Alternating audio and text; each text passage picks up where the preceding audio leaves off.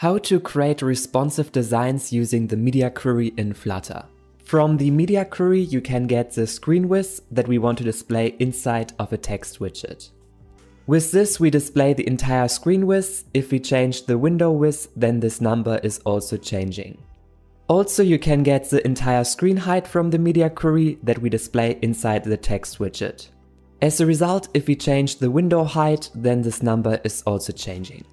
Next, inside a row we have a blue container with a width of 200 pixels and on the right side we place a red expanded container.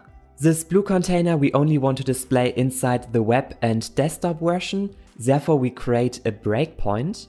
If the screen width is greater than 600 pixels then it is the desktop mode, otherwise we have the mobile mode.